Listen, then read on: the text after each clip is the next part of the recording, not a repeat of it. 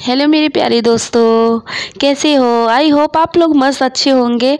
आइए देखते हैं आज चटपटी और खट्टी मीठी और बहुत ही टेस्टी लाजवाब चटनी, जो कि टमाटर और जायकरी यानी गुड़ से बनाए हैं हम। और कलर में देखिए कितना प्यारा लग रहा है। जैसे जैम कोई ऐसे। और ये स्टोर करके आप चार छः महीने तक तो रख ही सकते हैं। और कभी भी मतलब बिना फ्रिज के भी अभी ठंडी चल रही है ना, बिना फ्रिज के भी आप इसको स्टोर कर सकते हैं। तो दोस्तों, ये इतने ज़्यादा मैं पानी जला दूँगी ना इसके तो बिल्कुल भी पानी नहीं रहेंगे। तो ये चाहे जितने टाइम तक आप रख सकते हो। देखिए कितनी ग्रेवी मतलब कितनी डार्क, कितना गाढ़ा लग है इसका। तो आप इस तरीके से मेरे बताए हुए पे सारा फॉलो कीजिएगा तो आपको बहुत ही गजब का लगेगा। और खाने में तो पूछिए ही मत। एक्चुअली मेरा बेटा है तो वो टिफ़िन में कभी अचार नहीं ले जाना पसंद करता। तो मैंने सोचा कुछ ऐसा बनाओ जो दो चार महीने, यानी एक दो महीने चले। और मेरे बेटे को पसंद आए और वो हमेशा इससे पूरी पराठे खा सके। तो आइए देखते हैं कैसे बनाते हैं। फिर मैं थोड़ा बनाऊँगी, आप ज़्यादा भी बना सकते हो। यहाँ मैंने दो चार मैंने लिया है टमाटर, रेड वाले, क्योंकि ठंडी में अब आ रही है, बहुत सस्ते टाइप के टमाटर, महँगे नहीं मिल रहे हैं तो आप बना सकते हो ये चीज़। मैंने मिर्चा लिया है हरे वाले, लाल इसलिए नहीं लिया क्योंकि लाल बहुत तीखी होती है। तो जो तीखी हो, जो अगर बड़ों के लिए बना रहे हो तो तीखी स्पाइसी आप बना सकते हो। जैसा कि मैंने कहा, मैं अपने बेटे के लिए बना रही हूँ तो मैं तीखा कम डालूँगी इसमें। तो यहाँ चार, मैंने नीचे देखिए, कढ़ाई में ऐसे ऑयल लगा दिया। आप कोई भी ऑयल लगा दीजिए। और ऐसे मतलब जो टमाटर के गठलियाँ होती है ना, उधर, उस तरफ़ मतलब ऐसे कढ़ाई को करके आप रखना है। और अब मैंने इंडक्शन कर दिया है चालू। आपको ये तेज़ आँच शुरुआत में रखना है, फिर धीमी एकदम स्लो आँच में।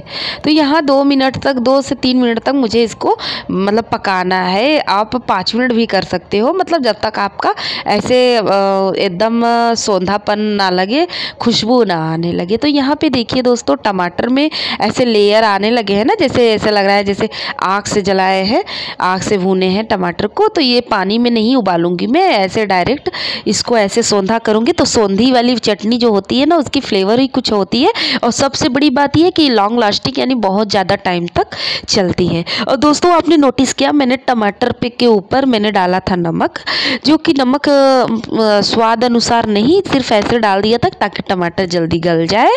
और इस चटनी में मुझे खट्टी मीठी के साथ साथ थोड़ी नमक का भी फ्लेवर देना है मैं, मीठा मैनेज करने के लिए।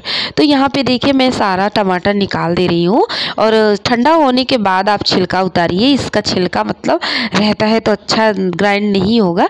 तो दोस्तों ये छिलका निकाल दे रही हूँ मैं बाहर और ये मिर्चा का गठलियाँ टूट तोड़ दूँगी दोस्तों और जो ये लहसुन है तो लहसुन का भी मैं छिलका, आप चाहे छिलके उतार कर डालिए या छिलका सही डाल रहे हो तो आप ना पकने के बाद छिलका उतार दीजिएगा।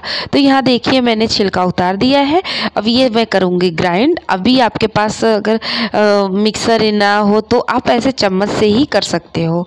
तो यहाँ पे दोस्तों फ़िलहाल मेरे पास ग्राइंड है। तो मैं ग्राइंड मिक्सर से इसको ग्राइंड करूँगी।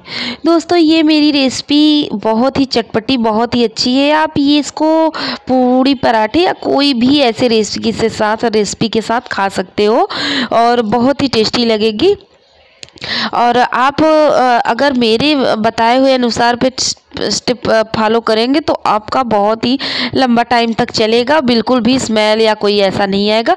और स्मेल ना आए और लॉन्ग लास्टिक हो तो इसके लिए मैं लास्ट में आपको एक ट्रिक बताऊँगी। तो यहाँ पे देखिए दोस्तों वीडियो को पूरा देखिएगा। तो यहाँ पे मिक्सर में मैं पूरा डाल दी हूँ। लेकिन दोस्तों, आप थोड़ा थोड़ा करके डालिएगा, नहीं तो अगर मिक्सर में ज़्यादा टमाटर रहेगा तो वो ढक्कन फेंक भी देता है। चलते टाइम मिक्सर तो यहाँ पर देखिए, मैंने पीस के गुट निकाल दिया बिल्कुल भी गुठली लिया नहीं है, एकदम सिंपल तो यहाँ पे देखिए, बहुत ही हल्की है। जब अभी हम इसको पकाएँगे तो बहुत ही गाढ़ी आ जाएगी। तो यहाँ देखिए दोस्तों, मैं ले ली हूँ देसी घी। आप अगर बटर का भी यूज़ कर सकते हो, नहीं तो फिर आप रिफाइन ऑयल का भी, जो भी आपको पसंद हो। ये है देसी घी से थोड़ा खुशबू और शाइन दोनों ही आते हैं। तो यहाँ पे दो मैंने ले लिया है लौंग और चार मैंने ले लिया है मरीच। यानी मरीच को क्या बोलते हैं ना, ब्लैक पेपर। तो यहाँ पे मैंने ले लिया है। तो कूट दिया है अच्छे से, दरदरा नहीं, कूट दिया है सिलबट्टे पे। फिर अब वो डाल दिया है उसी घी में तड़के के तरीके से। अब मैं जो पीस के रखी हूँ ना टमाटर वाली चटनी, वो मैं इस कढ़ाई में डाल के फिर से अच्छे से चलाऊँगी। इसे तीन, चार, पाँच मिनट तो लग ही जाए, गए थे। तो यहाँ पे दोस्तों धीमी आँच पकाते पकाते पकाते पकाते इतना टाइम हो गया है तीन, चार मिनट। अब उसके बाद ना खुशबू आने लगी है ऐसे।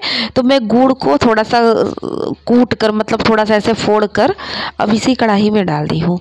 मतलब चटनी जब मेरा ऐसे सूखा होने लगा लगा तो मैं उसी कढ़ाई में डाल दी हूँ।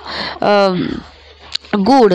तो गुड़ दोस्तों, ऐसे आप डालो ना, जैसे कि मतलब आप अपने कोई भी जो भी घर का हो, बाहर का हो वो गुड़ के ऊपर आपका फ्लेवर पसंद मतलब हो हो सकता है आपका गुड़ सही ना हो तो चटनी की स्वाद चेंज हो जाएगी। लेकिन आप गुड़ अच्छे क्वालिटी में लेंगे ना तो आपकी बहुत ही अच्छी होगी। अगर गुड़ ना हो तो आप शक्कर डालकर भी बना सकते हो। वो तो सबसे बेस्ट है। यहाँ लॉन्ग लास्टिक रखने के लिए दोस्तों, जैसा कि मैं बताई थी एक ट्रिक तो ये नींबू का प्रयोग कर रही हूँ।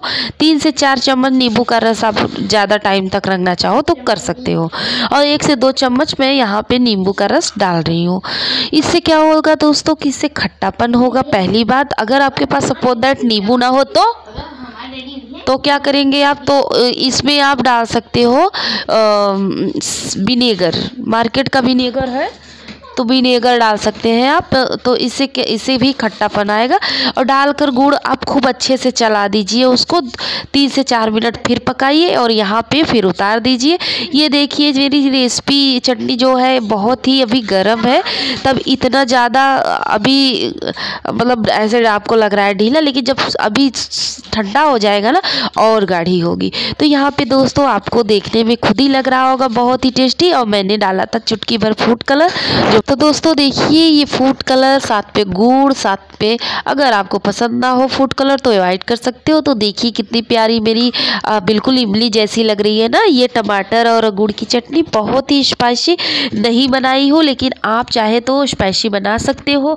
इसमें मिर्चा पाउडर का भी यूज़ कर सकते हैं। और मैंने ढेर सारा तो कैसी लगी दोस्तों? बताइएगा हमको। ये चटनी के आगे आप जैम केचप हर चीज़ भूल जाएँगे तो एक बार इस तरीके से ट्राई कीजिएगा। सौंधी वाली टमाटर की चटनी और गुड़ की चटनी बहुत ही पसंद आपको आने वाली है। अगर पसंद आए दोस्तों तो हाथ जोड़ के विनती है कि नीलू स्वीट किचन को सपोर्ट कीजिए लाइक कीजिए सब्सक्राइब कीजिए कमेंट ज़रूर किया करिए। और मैं कोशिश यही करती हूँ आपको अच्छे से अच्छे रेसिपी दे सकूँ। फिर मिलती हूँ नेक्स्ट वीडियो थैंक यू